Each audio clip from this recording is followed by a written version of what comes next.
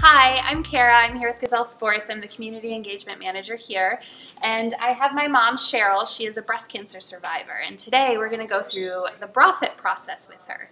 So, Mom, if you could tell us a little bit about some of the considerations when fitting someone who's had reconstructive surgery. Sure. Um, a couple of the things that I've experienced that have been kind of an issue for me is that it's not like fitting a typical person who comes in in that um, I've had reconstruction. My implants are um, silicone, and so even though they look more natural, they don't feel as natural and they don't move as naturally as breast tissue would. And so when fitting a bra, especially something that's um, more of a sports fit, um, it's difficult to find things that don't compress too much um, because there's not much give with with those implants. Um, it's also an issue for me with scar tissue. Um, this is my second reconstruction that I've had, and I have quite a buildup of scar tissue, and that area can be very sensitive. Um, and so, some bras with the banding, um, that's another issue for me as well. Okay. Well, great. Thank you. So, we will go ahead and get started with the fit and see what that process looks like and uh, take a look at a couple different bras that are maybe going to be a little bit easier to try on. I know that was another issue that you've had before Oh, too yeah. is pulling something over your head that that's not quite quite as easy. range of motion can be restricted. Um, earlier on in the process, it's even more restricted. Later on, as you exercise and work through it, your range of motion gets better. But at the beginning of the process, that can be really difficult. And I found myself looking for only bras that were front closed because that's all I could manage as far as my range of motion. And now are you able to wear more hook and eye closure in the back Yes. too? Yep. Okay. Yep, but it's been a process. Yeah, it has. So we'll go ahead and start the fit process. So first, we'll have you lift your arms up. All right, you can go ahead and set your arms down. So we're measuring about 31 and a half, which is a 36 band size. And then I'm gonna just loosely this up here. All right, and that measures 36. So that gives us four and a half.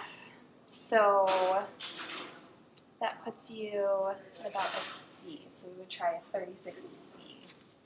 Does that sound pretty close to what you typically wear? It's close. Okay. Yeah, I at times I've gone to a 38 just because of the band Yeah. comfort factor. With the scar tissue and Yeah. things like that. Yep. Okay. All right, so we have a few different options here um, for bras based on our conversation that might be a little bit more comfortable for someone who has had reconstruction. The Any Day bra has these nice molded cups. Um, it does have the, the U back as well, so that makes it a little bit easier to get on. And what did you like about the molded cups in particular? Um, I feel like because the implants can, I'll say, shift or um, I think that, and also the structure that holds the implants in can can be weak sometimes, and so a molded cup just makes me feel more secure. Okay. So I also picked out the the Maia. This does have an underwire. It has as well uh, a little bit of molding to the cup and has the U-back hook and eye closure. It's a little bit more structured, so a little bit for higher impact um, activity level. And you are walking right now, right? So you know it's it's something that as you're as you're walking, it's going to hold you a little bit more secure as well. The underwire is a consideration too. Um, sometimes, and for me particularly on one side, the underwire tends to cut in, and so I tend right now to look for non-underwire support. So structured support without an underwire is hard to find at Yeah. times. Yeah, it is. So the Fiona is a little bit more structured. It doesn't have the molded cups, but it doesn't have an underwire and is still a high impact, secure fit. Um, the nice thing about that as well is that it's also a little bit more customizable for you know implants that might be shifting or moving. It doesn't have that underwire, so it does you know fit a little bit differently than that as well. And then the last one that I grabbed was the Love the color. the uplift crossback. So this does have a crossback. It's a little bit more flexible, which makes it a little bit easier to pull over your head um, than some of the other more structured options. It does have the the molded cup here as well. But also a great option for you know medium impact exercise, things like that as well. The nice thing is this one um, is very stylish. I find that a lot of the bras that I'm able to wear for fitness bras, even normal bras, are a little utilitarian. So this one's this one's fun. that bright, fun raspberry color, right? Perfect.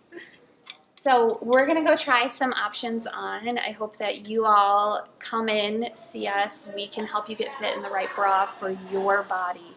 So hopefully we'll see you soon.